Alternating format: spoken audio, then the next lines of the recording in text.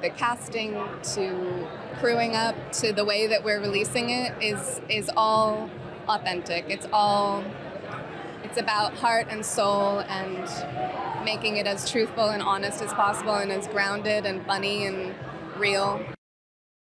I really hope that people um, in this world today just feel like maybe it's okay to be figuring yourself out for the whole of your life.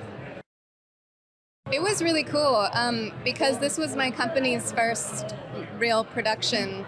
Everyone really trusted us so much, and people like Leslie, who I obviously had worked with, but we really love each other. And so the whole movie was built on people genuinely just loving each other. So it felt really good on set.